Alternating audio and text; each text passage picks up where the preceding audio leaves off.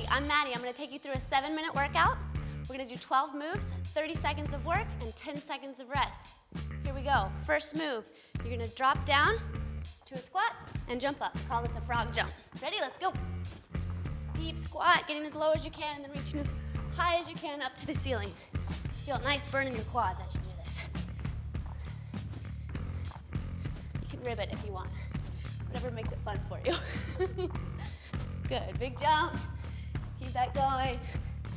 Nice and done. We got 10 seconds left. Big squat, keep going. A little bit faster, push through.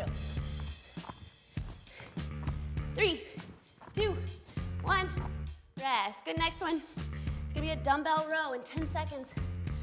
You're gonna bend over like a teeter-totter and pulling your arms into your armpits. Let's go.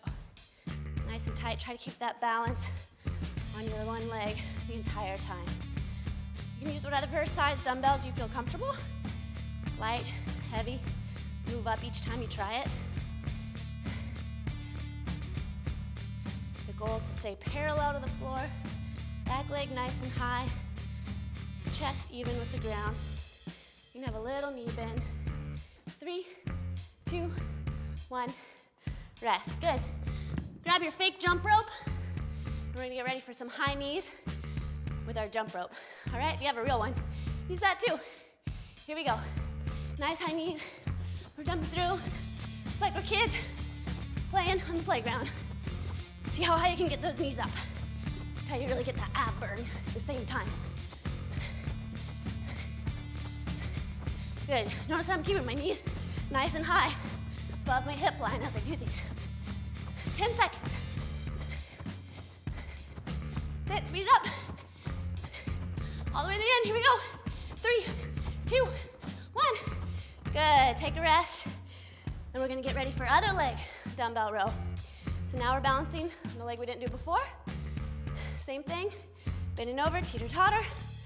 Nice little knee bend, just slightly to keep our balance. Back leg parallel to the floor, chest parallel to the floor. Pulling up to our armpits. Try not to bounce. If that gets too hard, just set your foot down. Okay? Good, nice big pull in 10 seconds. Almost there. In three, two, woo, one, rest. All right, next one. Gonna, oh, gonna bring those back up. Gonna do an oblique side bend, okay? So you're just coming down to one side and back up. Ready, go.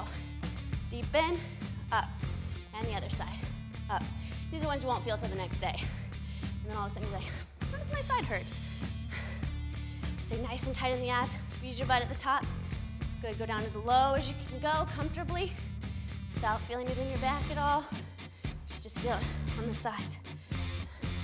10 seconds. That's it. Keep it going. Good, good, good. Three, two, one, rest. This one you might not have done before. I like to call it a donkey kick. You're just gonna go on your hands and feet and add in a little jump off your feet. Ready, go. If you're feeling more advanced, you can go as high as you feel comfortable. If you're not feeling advanced, just try to get off the floor at all. Keep jumping. Try not to add too much bend in the legs, using your Achilles to push through. You should feel it in your shoulders, a lot of pressure there. Your hands to grip the floor. That's it. Three, two, one, rest. Very good. We're gonna bring it down to our back for a slow circle crunch. So you're gonna go up in a big circle as we crunch. Ready, and go. Bring it up, nice and high. You should feel a burn as you go through. This one is not a quick one. This is to feel that stabilization as you go through. Looking up towards the ceiling. 10 seconds. Keep just going to that same side. Don't worry, we'll hit the other side. Three, two, one, rest. Good. Come up onto your hands and knees. Before we go to the other side, we're gonna do a fire hydrant to a kick.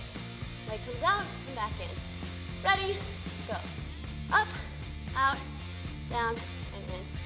Nice, we're just doing one leg right now, so pick your favorite leg. Start with that one. As we kick up and down. Try to straighten out all the way.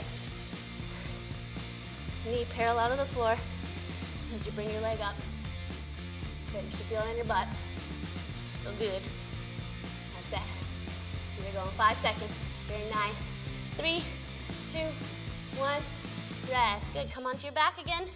Now we're gonna turn the other way we crunch. In, three, two, one, go. Big lift, coming around to the other side. Nice. Again, this is not meant for speed right here. This is meant to just feel a constant crunch throughout the whole thing. You should feel it in your upper and your lower abs. Really looking towards the sky as you go through the motion. Five seconds left. Three, two, one. Rest. Good. Back up on your hands and knees for other leg fire hydrant. Ready? Five seconds. Shake it out. Here we go. We got this. Three, two, one, go. Up, out, in and down. Nice. Straight leg at the top if you can. Coming up as high as your hip flexor will allow. Trying for that parallel to the floor move.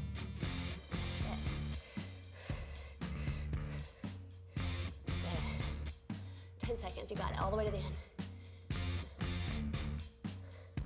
Nice reach, big kick. Three, two, one, rest. Good, we're gonna take it up a notch. Do burpees into a tuck jump, chest to floor. Bring those knees to your chest as we go. Three, two, one, go. Chest to floor, up, and jump. Remember, this doesn't have to be a perfect push-up. Just want you rolling down to the ground, get down there, and then get back up. And then try your best to tuck your knees into your chest. That's it. Speed up just a little bit, 10 seconds. Try to drop quick. And what goes down must come up. Here we go, three, two, one. Rest, good. We have one more push up with an opposite arm and leg lift. Push up, we're gonna reach the sky. Three, two, one, go. Push up and reach. Push up, reach. Good, just keep switching. You can always do this on your knees. Push up, reach for both legs. All right, bring it back up. Here we go. We got this. Really squeeze your butt as you go. 10 seconds. Big reach. Pushing through. And that's it. Time. We did it. Great job, guys.